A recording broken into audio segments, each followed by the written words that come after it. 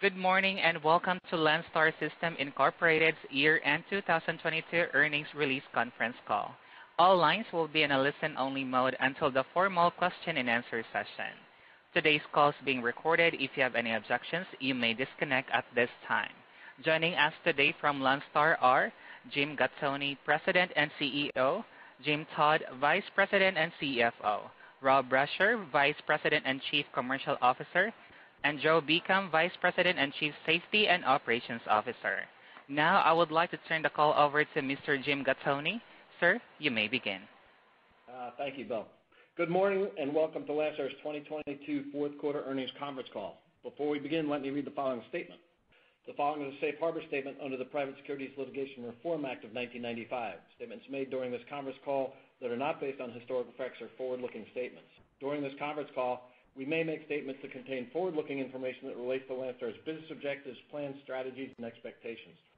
Such information is by nature subject to uncertainties and risks, including but not limited to the operational, financial, and legal risks detailed in Landstar's Form 10-K for the 2021 fiscal year, described in the section Risk Factors and other SEC filings from time to time. These risks and uncertainties could cause actual results or events to differ materially from historical results or those anticipated. Investors should not place undue reliance on such forward-looking information, and Landstar undertakes no obligation to publicly update or revise any forward-looking information. Note throughout these remarks that the 2022 fourth quarter included 14 weeks of operations, and the 2021 fourth quarter included 13 weeks of operations. Once again, Landstar delivered record financial results in fiscal year 2022. Our record performance in 2022 followed another record year for Landstar in 2021. Among many new annual financial records we established in 2022, Landstar achieved record annual revenue of $7.4 billion, $900 million higher than the previous annual record set in 2021. Diluted earnings per share in fiscal year 2022 was an annual record of $11.76, an increase of $1.78 or 18% above our prior fiscal year record of $9.98 set in 2021. During fiscal 2022, Landstar generated a record free cash flow of $597 million. Additionally, during fiscal year 2022, Landstar paid dividends of $116 million and purchased $286 million worth of company stock. In December, the board declared an additional dividend totaling 72 million to be paid in January 2023. Within our record financial performance in 2022, the 2022 first quarter proved to be a peak following six consecutive quarters of strengthening in the macroeconomic freight environment. As we moved further into the year, supply chain congestion began to ease, and the macroeconomic freight environment, although still relatively strong by historical standards, began to weaken, not unlike typical cyclical patterns historically experienced in the domestic freight environment. Beginning in the 2022 second quarter, Landstar experienced a deceleration in quarter-over-prior-year quarter growth rates for both truck revenue per load and the number of truckloads that ultimately led to truck revenue per load and the number of loads hauled via truck in the 2022 fourth quarter to both be below the 2021 fourth quarter. Heading into the 2022 fourth quarter, it was clear these cyclical conditions were continuing. As such, during our October 22nd, uh, 2022 third quarter earnings conference call, we provided 2022 fourth quarter revenue guidance of $1.775 billion-$1.825 billion, below the 2021 fourth quarter revenue by 6%-9%. The guidance anticipated truck volume to decrease from from the 2021 fourth quarter in a range of 2%-4%, even given the extra week in the 2022 fourth quarter, and revenue per truckload to be 5%-7% below the 2021 fourth quarter. 2022 fourth quarter loads hauled by truck were 6% below the 2021 fourth quarter, and revenue per truckload was 7% below the 2021 fourth quarter. Note that the number of truckloads hauled by Landstar reached an all-time record level in the 2021 fourth quarter and remained relatively strong by historical standards throughout 2022. Although revenue came in below the low end of the earnings guidance, earnings per share came in at the low end of the guidance. This can be attributed to a higher variable contribution margin than projected, along with lower SG&A and other operating costs in the 2022 fourth quarter as compared to the estimated amount reflected in the guidance. As compared to the 2021 fourth quarter, revenue hauled via truck was 211 million, or 12% below the 2020 fourth quarter. Approximately 16% when excluding the estimated truck revenue of $60 million contributed by the extra week in 2022 fourth quarter. And revenue hauled via other modes was almost $60 million below the 2021 fourth quarter. While we experienced a 12% decrease in truck revenue from the 2021 fourth quarter, to be fair, one needs to put the impact of the pandemic-driven demand and supply chain congestion in perspective. Since the end of the summer of 2020, strong consumer demand, along with supply chain congestion, drove truck rates and volume to historic highs. Landstar's two-year growth in truck volume from the pre-pandemic fourth quarter of 2019 to the record 2021 fourth quarter was 37%. Truck revenue per load grew 39% during that same time period. We expected that growth was going to subside as supply chain disruptions eased and economic cyclicality returned to the freight industry. And when that happened, year-over-year comparisons would become very challenging. Leaving aside the tough quarter-over-prior year quarter comparisons we experienced in the 2022 fourth quarter, truck revenue in the 2022 fourth quarter was still 68% higher than that of the pre-pandemic 2019 fourth quarter. Revenue hauled via van equipment in 2022 fourth quarter was 154 million lower than the 2021 fourth quarter, but 373 million above the 2019 fourth quarter. Revenue hauled via unsided flatbed equipment in the 2022 fourth quarter was only 13 million below the 2021 fourth quarter, but 121 million over the 2019 fourth quarter. And revenue generated via other truck transportation services, mostly power-only services, was 48 million lower than the 2021 fourth quarter, yet 116 million above the 2019 fourth quarter. Clearly, the van market was more favorably impacted by the pandemic-driven consumer demand than the unsided flatbed market throughout the past two years. Van loadings in the 2022 fourth quarter were 5% lower than the 2021 fourth quarter. Unsided flatbed loadings were 2% below the 2021 fourth quarter, and other truck transportation loadings were 16% below the 2021 fourth quarter.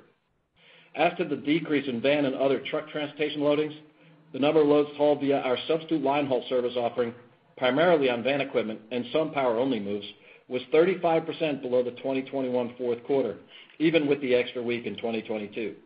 Additionally, load count from consumer durables, building products, and foodstuffs were down 8%, 6%, and 31% respectively from the 2021 fourth quarter. One of the few volume growth areas was in automotive parts and materials, which grew 13% over the 2021 fourth quarter. New agents as of the end of 2022, which we define as agents who contracted with the company on or after the beginning of 2021, contributed 144 million of revenue in the fiscal 2022. This followed new agent revenue of 181 million in 2021. Our agent base is strong, and these new agent additions will continue to drive new customers truck volume into the network. During 2022, there were 625 agents who generated over $1 million of Landstar revenue. This is the highest annual number of million-dollar agents in Landstar history. Turnover of million-dollar agents is typically very low.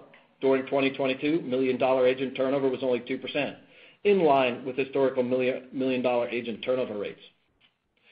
We ended 2022 with 11,281 trucks provided by BCOs. The number of trucks provided by BCOs decreased 583 trucks, or 5%, from the beginning of 2022.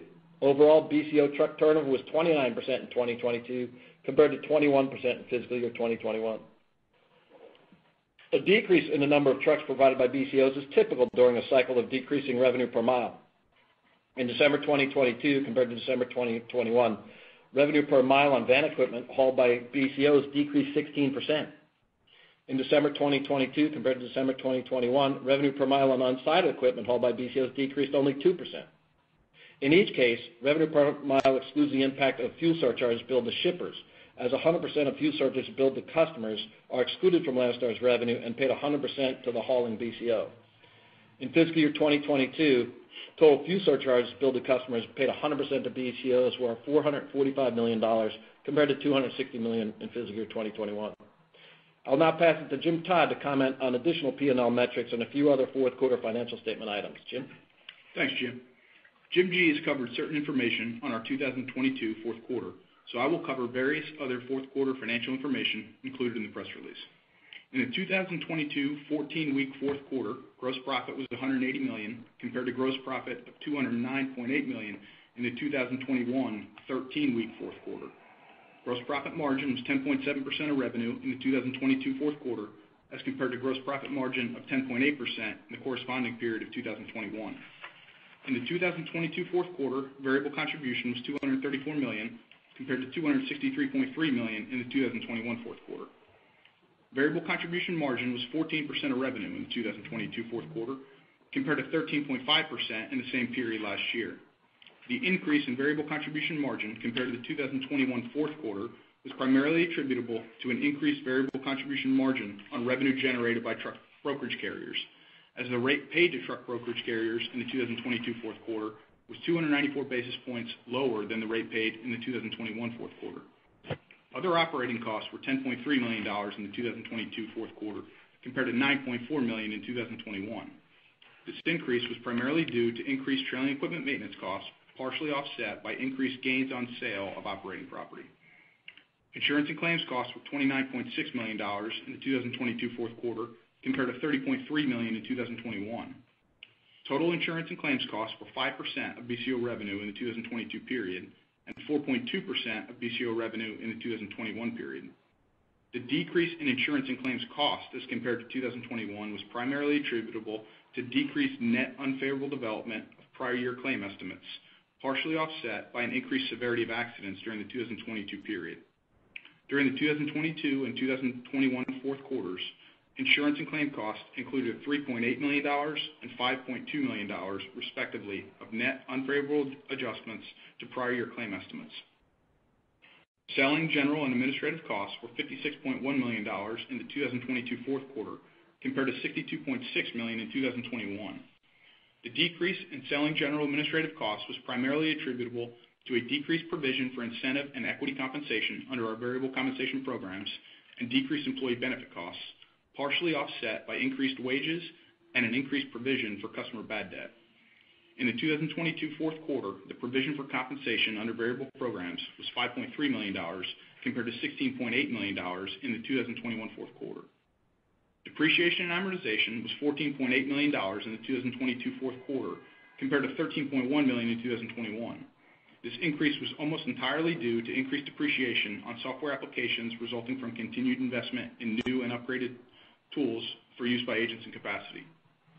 The effective income tax rate of 24.7% in the 2022 fourth quarter was 140 basis points higher than the effective income tax rate of 23.3% in the 2021 fourth quarter, as the effective income tax rate in the 2021 fourth quarter was favorably impacted by the resolution of certain state tax matters.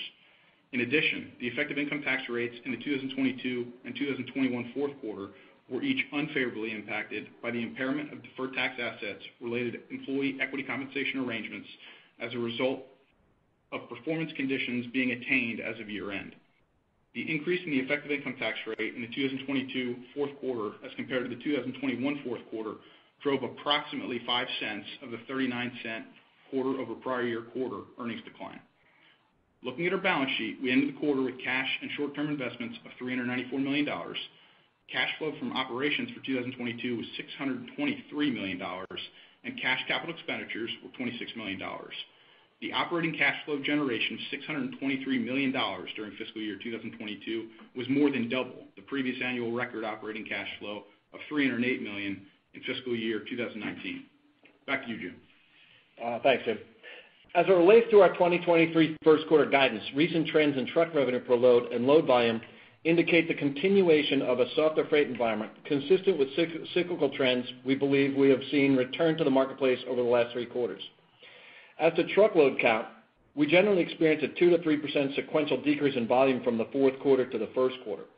Excluding the extra week from the 2022 fourth quarter, our truckload volume assumption has volume decreasing at a slightly more rapid rate than the historical typical range, as demand softening has continued into the beginning of the 2023 first quarter. Revenue per truckload trends from the fourth quarter to the first quarter have been inconsistent over the past several years. Over the past several weeks, revenue per truckload has drifted down, which is often the case in January. We finished 2022 with revenue per load approximately 10% below where we were as of the beginning of 2022, and our expectation is we could experience an additional 5%-7% decrease in revenue per load during the 2023 first quarter. Note that revenue per truckload reached its all-time high at Landstar in February 2022 and experienced levels without historical precedent throughout much of the 2022 first quarter. As a result, the revenue per truckload comparisons for the 2023 first quarter compared to the record revenue per truckload established in the 2022 first quarter makes for an extremely difficult year-over-year comparison. Overall, we expect revenue in the 2023 first quarter to be in a range of uh, $1.4 billion-$1.445 billion, and diluted earnings per share to be in a range of $2.05-$2.15. This earnings estimate anticipates variable contribution margin ranging 14.2%-14.5%. Although we do not plan on providing full year earnings guidance due to the unpredictable nature of the spot market, Jim will cover our estimates of costs and expenses for fiscal year 2022 as they are more predictable and fixed in nature. Jim? Thanks, Jim. With respect to my expectations for Landstar's full year other operating costs, assuming a normalized provision for contractor bad debt, I estimate 2023 other operating costs would increase by $1 million-$3 million as increased trailing equipment maintenance costs and increased transaction costs associated with a software rollout are partially offset by increased gains on sales of used trailing equipment. With respect to anticipated insurance and claims costs, I continue to believe 4.5% of BCO revenue is the appropriate measure to utilize, but we will continue to reevaluate each quarter. My base case assumption on selling general and administrative costs is a $3 million-$6 million increase year-over-year, assuming a normalized provision for customer bad debt. Included in that base case assumption is approximately $12 million of tailwinds from potential decreases in the company's variable compensation programs. In a hypothetical 20% revenue decline scenario, those tailwinds could grow closer to $18 million-$20 million, which would result in a slight decrease in selling general and administrative costs year-over-year. I expect depreciation and amortization costs to increase $4 million-$6 million year-over-year, depending on the timing and ultimate acquisition cost of new trailing equipment. I also expect that the information technology headwinds we have experienced on this line in recent periods will begin to recede in 2023, as a greater portion of our IT spend is expected to shift from initial development work to maintenance and enhancements of existing in-service digital tools and products. Back to you, Jim. In closing, and as previously mentioned, the macro freight environment gathered strength from late summer 2020 through 2021 and drove Landstar's truck revenue to historic highs. 2021 fourth quarter truck revenue was 91% above the pre-pandemic 2019 fourth quarter. The prior upmarket cycle reached its peak in the 2021 fourth quarter and 2022 first quarter and was followed by decelerating year-over-year growth rates in truck revenue per load and volume beginning in the 2022 second quarter. Regardless of challenging year-over-year comparisons, a less robust freight environment and the inflationary pressures of labor, equipment, and insurance costs, the resiliency of the Landstar variable cost business model continues to generate significant free cash flow and financial returns. For example, if we were to experience a 20% revenue decrease from the 7.4 billion of revenue reported in fiscal year 2022, we believe Landstar could still generate an operating margin representing operating income over variable contribution of 50% or more. We also expect free cash flow to exceed 350 million under that scenario. 2021 and 2022 were historic years at Landstar, during which the company achieved new levels of record financial performance that resulted in Landstar's historically strong business and balance sheet becoming even stronger than before. 2023 has its work cut out for it due to the tough comps to prior year and a less robust freight environment to start the year. Nevertheless, we have been through many business cycles before, and we still expect nothing less than 2023 being a terrific year by historical standards, with anticipated annual revenue well above pre-pandemic levels. And with that, Belle, we will open to questions. Thank you very much, sir. At this time, we will begin the question and answer session. If you would like to ask a question, please press star one on your touch tone phone. Once again, that is star one to ask the question. To cancel a request, please press star two. And We have the first question coming from the line of Todd Fowler of KeyBanc Capital Market. Your line is now open. Hey, uh, great. Good morning, everybody. Jim, I guess to start, you know, on the revenue per load commentary for the first quarter, it sounds like that the down 5%-7% is in line with what you see from a typical seasonal standpoint, but you've got a little bit of easier comparisons coming off of the fourth quarter. Um and I think that on a year-over-year basis, it kind of implies like a mid-teen decrease. Can you just comment on, do you feel that that's reflecting where the market is or a little bit of a lag in kind of how your pricing, you know, flows through on the revenue per load side?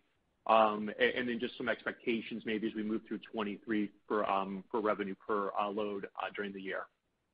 Yeah, I would say that generally we do lag a little bit in the market by you know by, you know, three, four weeks or so based on the reaction time of the shippers and agents kind of coordinating pricing. But I wouldn't say it's substantial. Um, I would say that the market trends that we're seeing today are probably a little more truer to market than we typically see as in our in our business.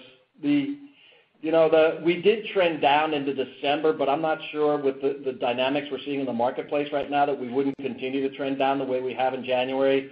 You know, we did go through the fact that December was a little lower than we anticipated, and would that drive a less drop into January, but we're not experiencing that. So I think we're still pretty comfortable, Uh, we're gonna see that normal drop from being, you know, 10% in the fourth quarter below the first quarter with plus another 5%-7% drop. We'll be that mid-teen drop off in the first quarter. Uh, we're not seeing. I would say we're seeing a little bit of, I don't wanna call it stable, but it's a little more stable, I guess, than it than it has been over the last three or four weeks. But again, still pretty unpredictable because things have been flipping back and forth pretty quick over the last uh, several months. As as it relates to the year, you know, if you go back to, well, the last two years, I would always say that I believe in cycles regardless of the pandemic. I still think we're gonna, you know, the spot versus contract cycle is gonna happen. And capacity tightens, and you need business, and spot markets climb, and then it loosens, and people go to contract, and the spot market drops. I you know, I was saying that for the last, two years that we're gonna cycle down. And if you believe in cycles, our peak was in February, right? We went from August of 2020 to February of 2022. It's about 18 months from what I would say was like trough to peak. And if you think another 18 months of peak to trough, you know, that puts you back somewhere in the summer. And being a believer in cycles, I would project that things will start to improve, and we'll get a little bit more rate seasonality as it climbs into the third and fourth quarter. So th that would be my guess is where we're headed. Um, it's kind of what we've talked about here and what we expect to happen in the back half actually is that we see the spot market to drive rates up a little bit again. I'm not talking like tremendous. I'm talking seasonally normal increases in rates from Q1, maybe not to Q2, but into Q3 and Q4. Yeah. No, all of that makes sense. And I would say that, you know, it's been surprising that it does turn out that it feels like a cycle even sometimes when it doesn't. So just a quick follow-up, you know, is and I know you went through the detail on the end markets, but, you know, are you seeing any difference now? It feels like, you know, going through a lot of last year was more on kind of the consumer durable side slowing. It looks like some of your industrial end markets are still holding in relatively well, but just kind of any general comments uh between between end markets where you're seeing some strength and softness. Thanks. Yeah. Hey, Todd, this is Rob. Specifically on the- On the open equipment front, we're seeing a lot of uh a lot of positive trending on heavy haul projects. We're seeing a lot of heavy equipment Um, really pick up for us uh, uh, through from the manufacturers direct. Now, that could be the fact that uh, again, due to supply chain constraints, that they're now filling orders that they couldn't over the past year and a half. Um, but but to that point, exactly to the to the to the cycling up and cycling down, more so in the metals and some of that more specialized open equipment freight, we're seeing that come down, which is a typical cycle because it's wintertime, right? There's not a lot. When the ground freezes up north, there's not a lot of those projects that are going on. But we do anticipate as the season warms up and the year moves on, that will continue on an upward basis. Automotive continues to be where it's been both from a van and a flatbed perspective for us. Um, when you look at the automotive suppliers and you talk about the business that we're doing, I don't know if they're gonna be caught up anytime this year. That's really hard to predict, but it doesn't look like they are. So that will continue in that trend. Got it. Thanks for the time this morning. I'll pass it along. All right. Thank you. We have the next question coming from the line of Scott Group of Wolfe Research. Your line is now open. Hey, thanks. Uh, morning, guys. Um, so yeah, just wanted to get more of your perspective, Jim, on just the cycle. Um, sounds like you're hopeful that uh, rates bottoming, you know, Q1, Q2. So, You know, if you look, you know, we have this, you know, from trough to peak, a 60% plus increase in rates, and we're getting close to the trough, um, you know, a 20% or so drop from from peak to trough. Does that sort of. You got a long history here. Does does that sort of drive with, you know, what you've seen in prior cycles that we that we can hold on to, you know, most of the of the of these pricing increases? I would say that the timeline of the peak to cycle, kind of 18-24 months kind of makes sense. But uh, we've never had a trough to peak of 60% growth. So I think I think a lot of the discussion is, well, then what's your peak to trough? And seeing a little bit of where the rate's sitting today, you know, is the trough down 20 or 25%? I don't you're not you're not going to go down 60%, clearly. I don't believe we're going to go back to 2019 levels. You just can't, because so much more cost in the system with inflation and insurance costs, I don't see how the industry can bring rates back to that level. Uh, I'm kind of comfortable with what we're seeing in the first three or four weeks of January. It's got us heading slowly down and not driving down into a 60% drop-off. So I'm pretty comfortable that um, with kind of the commentary is, I'm not sure we continue to drop into the second quarter. I would say that maybe we get a little improvement into the second quarter, and then from there, we get better improvement spot markets, more seasonal. Okay. So from the from the the high to lows over the last two years have been crazy, right? Before that, it had moved 10% or 15% from peak to trough. Now it's just you know the pandemic drove it to new highs. And like I said, I just don't think it pulls back that far as far as it grew because of the cost structures. Right. Do you have a view on where we are contract for spot? And then maybe just to your point about how much costs are up, right? We saw some big drop in the in the BCO count and the approved broker carriers. Just you know, what's what you're seeing in terms of capacity. Any any update on on how that's trending in Q1? Yeah. This is Rob. From a pricing perspective, there are still real pressures on rates right now. Um and those pressures are because of the huge drop in spot market rates. I don't know where we are. To Jim's point, I think they're starting to stabilize a bit. Assets have been pushing back for a long time because of their increased operating costs and you know the increases they put into their system. We are starting to see those carriers and those contract rates a little bit relax and start to to succumb to some of the pricing pressures. I don't know. Uh so I think it's weakening. I don't know that we're at the bottom, but from from our perspective, I do think there's some stabilization uh from from a rate standpoint, spot to contract. Yeah, Scott, this is Joe. I'll take the BCO and uh, capacity question. So it you know, um, We're gonna we're predicting that the first quarter will look a little bit a lot like the fourth quarter uh, as far as a net decline. And really what's driving that really doesn't change. It's if you think about our model on the add side, we're really um if guys can't get used trucks, then it kind of makes it hard for them to come out of other systems and come here. The interest in Landstar is still strong, uh, but a lot of that interest is predicated on uh, identifying and finding a truck. So as you see more broadly, as newer trucks get put into different um, systems and bring those come into the market, then that feeds the used truck market. And as that uh, availability and that price begins to be rational, I think you'll see the ad thing um, kind of fix itself. And on the retention side, it's really about the parts and labor to keep the existing equipment running. As you probably know, on the BCO side, they're running used equipment. And you've seen the inability, uh, or we've seen the inability to get trucks repaired and repaired timely uh, really affect our utilization uh, throughout all of 2022, and that continues into 2023.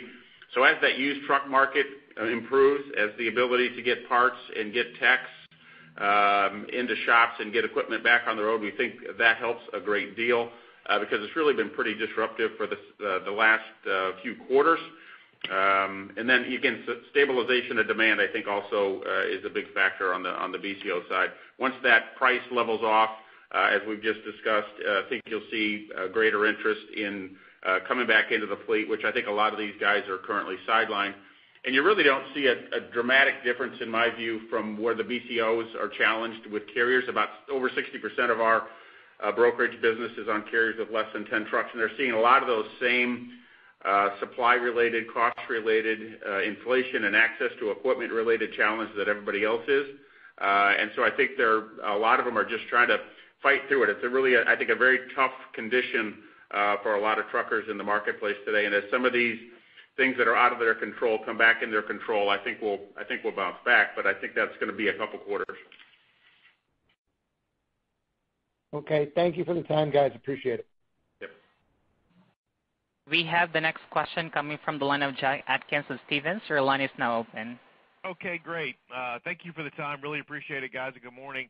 Um, so I guess maybe a kind of a macro question divided into two parts. I guess one for Joe, one for Rob. But I guess, you know, as you sort of think about, you know, Um, on the industrial side, I think there's a lot of concern about the potential for destocking of industrial inventories, uh, know, similar to what we've been seeing in the last, nine months or so on the on the retail consumer side. I'd just be curious if your customers are telling you anything about the potential need to do that. And then I guess just following up on Scott's question about capacity, you know, given the pressure on small fleets, you know, are you seeing any signs that capacity is exiting the market or maybe that capacity exit is accelerating in any way? Um, I know that's a long question, but would just be curious about both those things. Yeah, I'll start, uh, Jack. Um, I think, yeah, just based on the FMCSA data and some of the stuff we're reading, the net revocations of carrier authorities uh, has really, it's been like 6,000-8,000 a week for the last several weeks of 2022.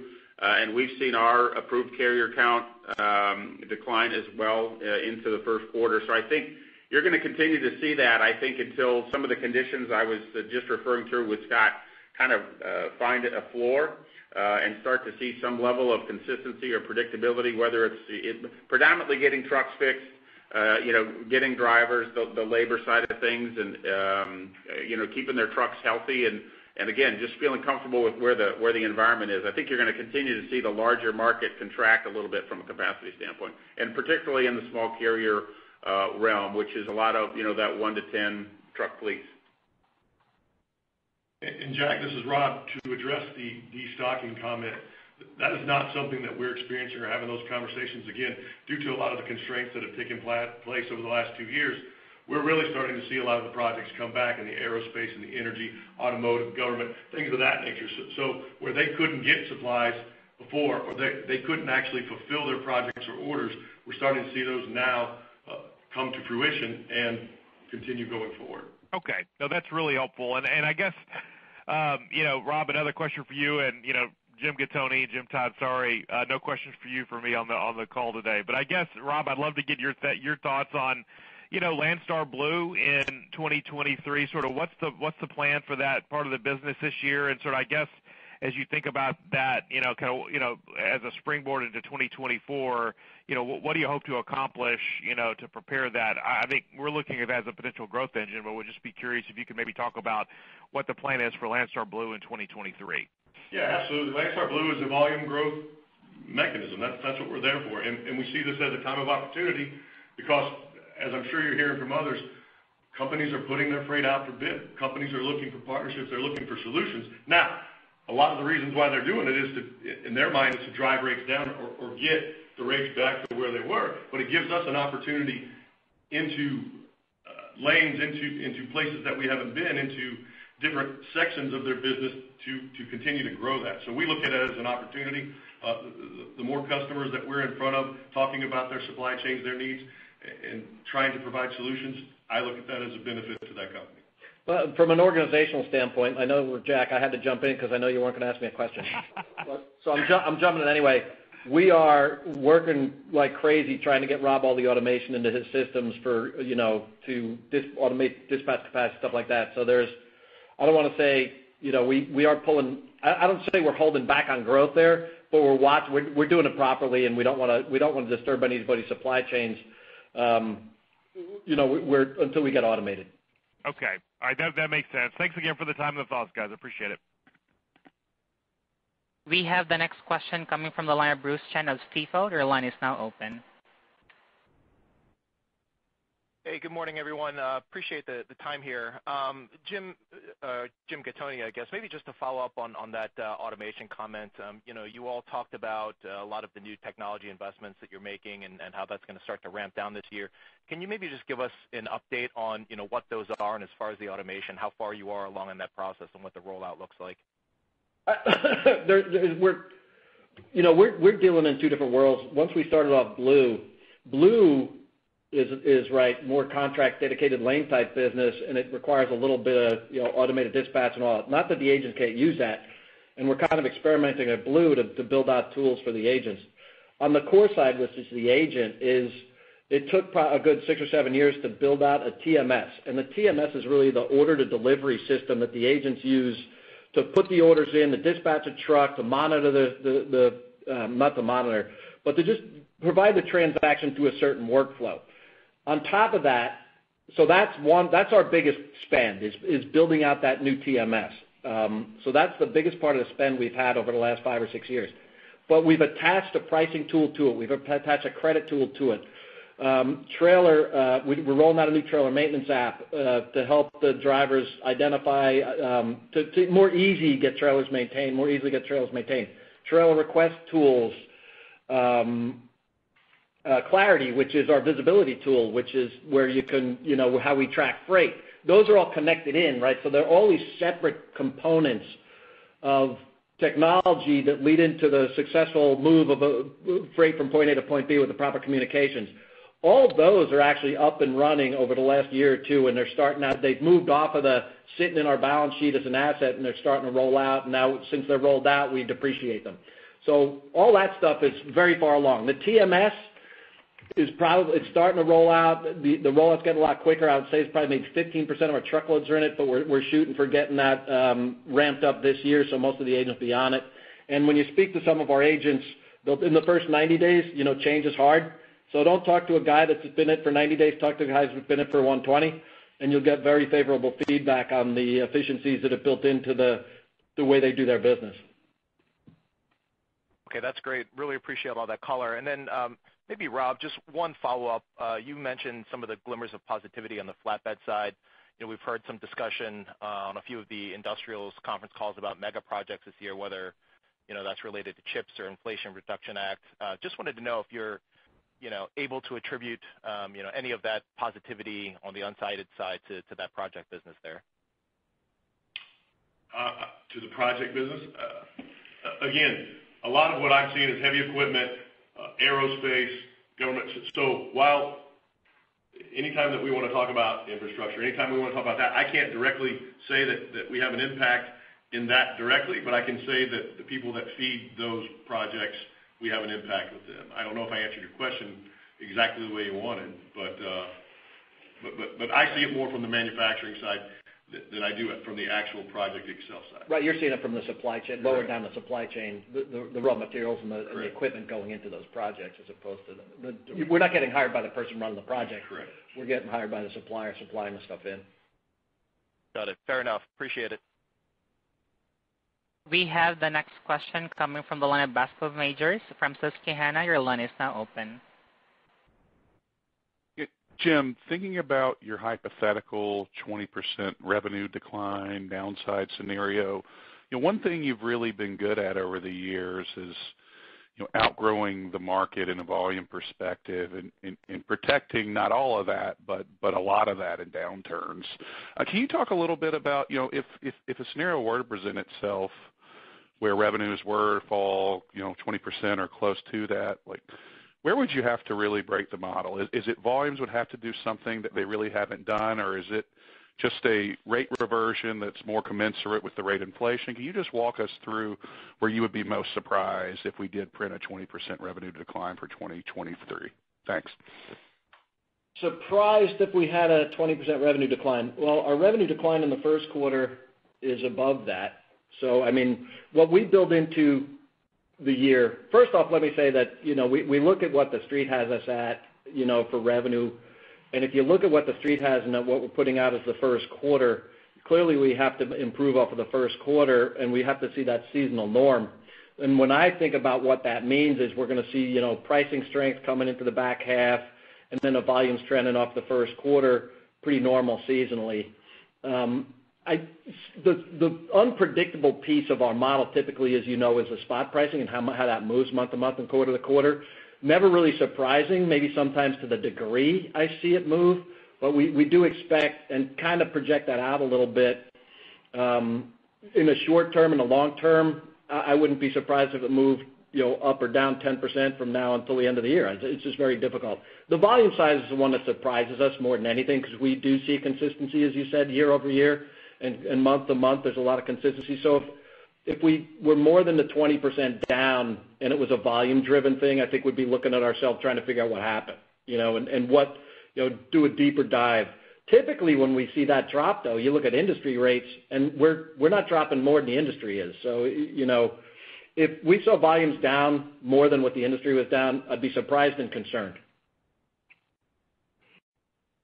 Thanks for walking through that. And just one more clarification. You know, you talked a lot about rates earlier. Um, if I look at peak to peak for revenue per truck, it looks like it's up you know, 25% from 2018 on a full year basis. Um, your net revenue per load is up exactly the same. Um, you know, should we just look at, you know, thinking about conceptually about the model, is there anything that would force you know, the net revenue per load trend, which is obviously a pretty important indicator for the bottom line of your business? Is there anything unique that would drive that to really diverge from rate, or is that really going to be a function of the rate on the way down as well? Thank you. Well, there's mix in there, right? It's BCO or broker. You know, one of the things we've been one of the reasons, if you're looking at it that if you're looking at a combined on a truckload and you're not looking separate BCO versus broker, the one thing we've been struggling with over the last probably three quarters is BCO utilization. They're not driving as much, and that would actually drive that mix would actually drive that variable contribution per load down because that's a higher higher variable contribution per load because clearly we have, you know, as it relates to the BCOs, where, you know, they're under our you know, that we cover their losses on insurance, so there's other costs below the line. So there's mix there based on who's hauling the load and the percent of BCO versus broker as it relates to uh, revenue. The other thing clearly is uh you know the the spread, the typical market spread between a you know a tight market and a soft market as it relates to third-party trucks hauling our freight. Right now, we're we're clearly in the expansion mode as it relates to variable contribution per load, and we expect that probably continues at least through the first half as capacity stays loose. Uh, so those are the things that drive it. Um, But the thing about our model, it doesn't necessarily move as much as you'd see in a pure broker play because as you know, like 40% of our business is on a fixed margin.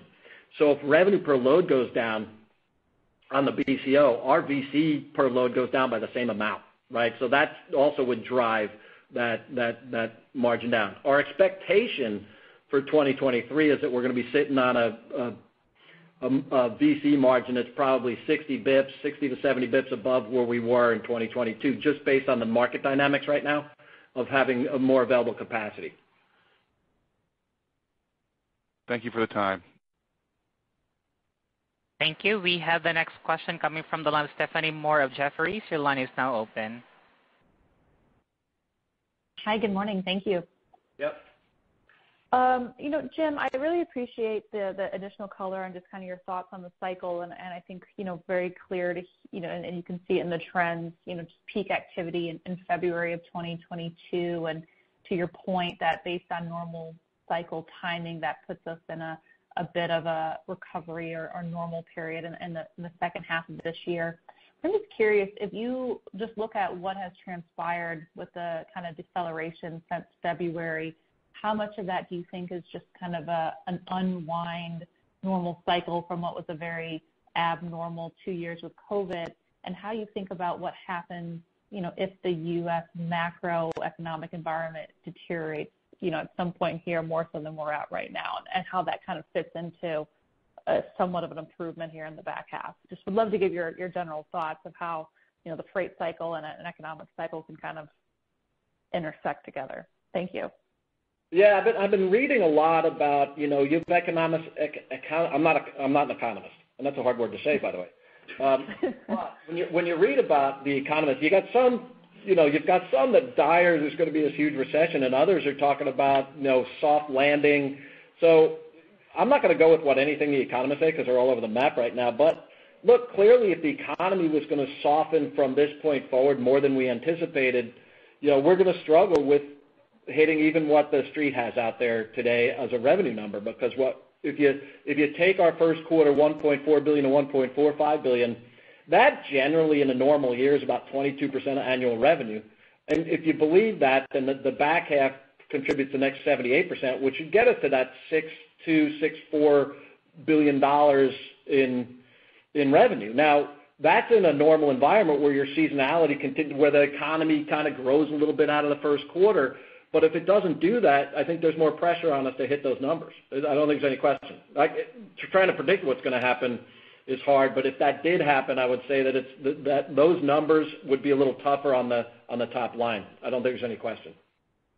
Right. No, that's really helpful. And then as you kind of go back, and I know thinking over what has happened the last, really since, call it February, do you feel like the commentary that you were hearing from your end markets, your customers, particularly on the consumer side, will make it seem like it was a bit more of an economic slowdown on their end, like they were already in the recession? Or was this just, again, kind of a come down from a weird COVID environment? I'd just love to hear what your customers were saying and how they were feeling about the environment.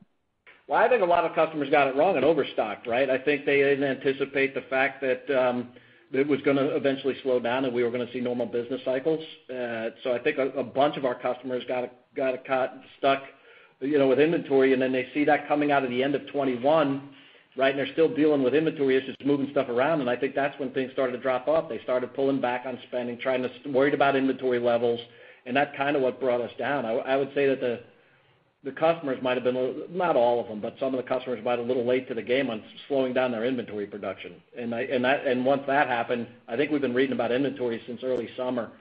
Um but I think it might have been a little sooner than that that they were having problems, and they just started to admit it. Great. Absolutely. Well, I'll leave it at that. Thank you so much. We have the next question coming from the line of Scott Schneeberger of Oppenheimer. Your line is now open. Good morning. It's uh, Daniel on for Scott. Uh, thanks for taking our questions here. Uh, curious on the other truck transportation line item, what have you've been seeing recently across those categories and how we should think about that in the first quarter and maybe beyond, please. Thank you. Well, in that other truck transportation is power only, and a lot of that was that substitute line haul business. You know, we were we were dropping trucks in there and pulling someone else's trailer. That started softening up halfway through last year, and I would anticipate the drop-off there was because it was so high before. You know, it really took off. It was one of the fastest growers coming through the pandemic, and I expect that actually to slow down. It might be the one that slows down more than van or or flatbed. You know, just based on the the business that we're doing within that category, being the substitute line haul, which really was consumer driven. Thank you. Um, on SG&A, helpful color earlier, but how should you think about the cadence this year? Anything unusual? Anything unusual in SG&A in 2023? Yeah, as far as the cadence goes. Yeah. The unusual would be kind of the mean reversion on the compensation under variable programs. But but to Jim's point earlier, you know, there's still a little bit of sticky wage inflation, benefits inflation, and uh, you know, with softness in the general uh, economy, you know, that could pressure the customer bad debt line a little bit. But that was all that was all scrubbed and part of the part of the guide earlier. I think one of the areas too is the one you didn't mention, other operating costs, which is really a smaller piece, but we're experiencing like 20%-25% inflation on the trailer maintenance per trailer. Um so there's some inflationary, not just in the SG&A line. Some of the biggest inflationary factors we have going on right now is trying to maintain our trailing equipment in between the labor and availability of parts. Got it. Thank you. Thanks so much. We have the next question coming from the line of Jason Seidl of Cowen. Your line is now open. Hey, thank you, operator. Hey, good morning, guys. You know, I want to circle back a little bit to uh, Jack's question, but come at it uh, a little bit different of a way. Um, if we just assume normal seasonality from here in 1Q and into 2Q, how how oversupplied is the market right now? Are we 2%, 3%? You know, is it more than that? So in other words, how much capacity do you think needs to continue to come out of the marketplace from here to get us back to sort of equilibrium? Well, that's a very hard question to answer. I would say it's like. That's why I'm asking it for you guys. You guys are the experts. I know. I was going to say it's oversupplied by 2.2774%. Well, that's what I thought. I was probably 2.2777, but you know. In all honesty, clearly it's oversupplied because when you look at the PT rates we were paying the trucks in the fourth quarter, it was probably the lowest it's been, and I think we look back 10 years. So there's clearly, putting a percentage on that is hard to say how over how much more capacity. I'm also a believer in a little bit of momentum too, because people start getting scared when when everybody starts putting out that rates are falling through the floor and the trucks get a little scared, so they start cutting rates on their own just so they can get freight. So there's some momentum there too. So I think there's a little bit of too much capacity, you know, not enough demand. That's and then and then the, "Hey, I need to get a load because I'm scared rates are going to keep dropping" mentality. Um, As to how many trucks, that's so that's such a hard measurement for us to figure out or almost anybody uh, around. We're still seeing the trucks charging us. You know, we're we're still getting pretty good rates off of the trucks right now. And typically, it takes three to six months for that to tighten up. So I would say that that's all I can give you is you know, a period of time where I think it tightens up as opposed to how many trucks are in the market, uh, how many excess trucks. I'm not a big believer that if you add 50,000 trucks into the market, that it's going to move the needle that much. I think it's more of a demand-driven environment than a truck-driven environment. You've seen sales climb, right? But I think that's like sales, I thought I saw sales being at a record level in December or pretty high compared to where it's been over the last three or four years. But remember, people are sitting on older trucks, and they're just starting to swap them out. I mean, I don't even know if we know how many of those how many of the sales are being replacements versus additions. And then there's all the access to drivers. It's always talking about not getting drivers into the system. So it all plays into this, how many more trucks are on the road and how many we need to come out. Um and it's kind of more of a, you're feeling trends and trying to identify what's going on. I mean you can look into the truck counts that are coming out of the governments and stuff like that, and how many CDL licenses are out there, but are they all driving? It's just a very difficult question. But I would say that it was very loose in the fourth quarter, looser than it's been in such a long time based on the rates we were paying to the trucks. And I would anticipate that's going to continue for a little while through the first quarter and then maybe swing up, you know, tighten up a little bit in the you know, once we get through the second quarter. Yeah, that sounds good. Are we seeing any impact from weather? Because you know, we've been hearing stories about truckers getting stranded down south with all these big storms sweeping through. Yeah, but you know with us, what happens is we'll see a day, like now that's going on in Texas, you like our dispatch loadings probably were pretty low yesterday because we wouldn't throw trucks on the road if it's like that. But then the loads get the same loads that they were waiting on, they just pick them up today. So you'll see it's very short term for us. It doesn't affect the quarter so much. What does affect the quarter, if you're running contract business and someone shuts a plant and all of a sudden those 15 loads that day, they didn't get produced. So there's no, you know, you're, you did lose freight. But in our world, we don't necessarily lose the freight. It's really just moves to a different day. Sounds fair. Gentlemen, I appreciate the time as always. And if that's not true, maybe I'll have to, and if I'm wrong there, I'll use some weather excuse at the end of the first quarter. I'll look forward to it. We have the next question coming from the line of Scott Group of Wolfe Research. Your line is now open. Hey, guys. Thanks for the follow-up. So um I go back and look at 2019 where revenue was down 10 and SG&A was down 15%. Explain to me again just why you think revenue could be down 20 but SG&A up. I'm just not following. Why would SG&A be up? Yeah, thinking. Well, I mean I'm just looking, like the last time we had a we had a big drop in revenue, SG&A was down a lot. So um why would this year be so different? Yeah, Scott, I would I would tell you that the pre you know pre-pandemic, the inflationary pressures were really isolated on the insurance line and the tech line, whereas you know post-pandemic, we've got two years in a row of you know pudgier wage inflation. The benefits inflation on that line is a little heavier. And then I think 2019, the comp under variable programs snapped to uh, like $4 million. Um, it was very low. It was very low, and we've got some recent uh, equity tranches that are that are based on lower base years, uh, like 2020, for example. So we're we're not going to get as much of a soft. We'll get softening, but we won't get as much of a softening on those lines, 2018 versus 2019 and 2022 into 2023. Uh, the other piece is not just SG&A. It's the I believe that the insurance line was $70-something million, and we're running 125 right now. So there's 50 million of pressure right there from 2019 into 2023. That's a big that's a big piece. Mm-hmm. Jim, I know you guys did the dividends. I didn't see any buybacks. What's the thought on buyback this year? This year? We're going to continue to buy back. It's our favorite thing to do here other than work. Um but you know the our thing is we didn't buy back in the fourth quarter because we watched the stock run up. I think we ended the third quarter at about, I think the stock was trading at like 145, and we don't compete with buyers. By the time we by the time the window opened and by the time we got to the end of the quarter, it ran up to $160, $170. It's really why we didn't get in. We're just waiting for it to settle.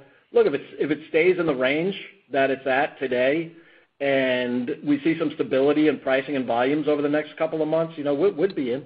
I mean that's it's the same thing. We'd be opportunistic, stabilize see the stabilized price, and see the market stabilize a little bit. I think we're a little too early into the first quarter to determine whether we're going to see the stabilization in rates that we see currently and whether we're that confident in the volume trends. Uh, you know, We got to get through February. February is such a tough comp. Um, it was our best month last year, and so we're watching all those signs. But we haven't changed our thought process on buybacks. We favor them. Okay. And then just last thing, I may have missed some sort of comments you made about um, profitability on contractual versus spot right now. I haven't heard you talk about it that way before. If you could just expand on that, because I think I missed it. Blue is so small. Blue is doing most of the contract work, but it's pretty small, so we don't really have much data on the comparisons there. But with with us, it's the profitability, we don't really we don't really have a lot of contract dedicated freight out at the agent base at the core. I mean, they run a they run some of it, but it's still, even in our world, contract rates are almost like spot rates, right? If if the shipper is if we're running something that looks like a contract run, like lanes, and rates start dropping, the shipper comes back to us and drops our rate. We we have contract rates, they just don't hold. So our whole world almost works in the spot world other than the little piece over at Blue. I think the question was, we're trying to figure out where our spot rates today as compared to contract rates. Um and I don't think we had a very good answer because I don't think we know where they stand today. We get the data just like you get it, you know, from people who publish it. Okay. Thank you, guys. Appreciate it. Yeah. At this time, I show no further questions. I would like to turn the call back over to you, sir, for closing remarks. Thank you. Before I sign off on 2022, I want to thank all of Landstar's agents, BCOs, and employees for putting up another record year. The people in Landstar's unique network of agents, capacity to provide employees are what truly sets Landstar apart in our industry and enables the success we all achieve together. Thank you, and I look forward to speaking with you again on our 2023 first quarter earnings conference call, currently scheduled for April 27th. Have a good day. Thank you for joining the conference call today. Have a good morning. Please disconnect your lines at this time.